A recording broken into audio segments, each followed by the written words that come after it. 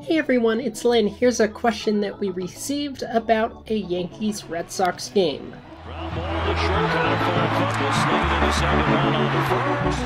Just like the umpire on the field, you get one shot, safe out, lock your wagers in now. Okay, let's review what happened. They didn't get the base. It didn't look like he did. And the Yankees don't think he did. They are going to challenge.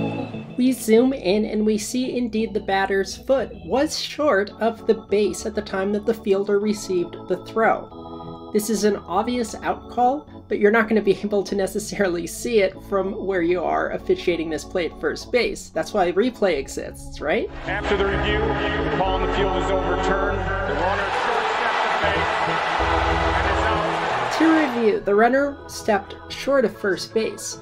Therefore, the runner is out even though the foot obviously got there before the fielder caught the ball. The question then that we got is there is an interpretation that states that the runner will be declared safe if they reach first base but do not actually touch it on their way by prior to the fielder receiving the ball. So why is the runner considered out here? The answer to this question is simple once you see it. The runner cannot be considered to have reached the base if the runner has not actually gone even with or drawn to the front edge of the base. Because the foot is short, the runner came up short, you can't say that they reached the base. So replay is going to declare the runner out simply because they didn't get to the base yet by the time the fielder got the ball.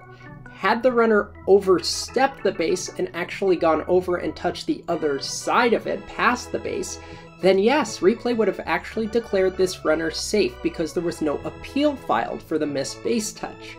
You have to actually file an appeal to get that ruling. And by the way, if the team that challenged only appealed after the challenge, the appeal would not be recognized because the statute of limitations for appeals prescribes that the appeal needs to be filed prior to any replay reviews. Thanks for sending this question in. Visit us online at closecallsports.com, Twitter and Facebook at Close Call Sports, Discord too, subscribe to YouTube, and we'll see you on the site.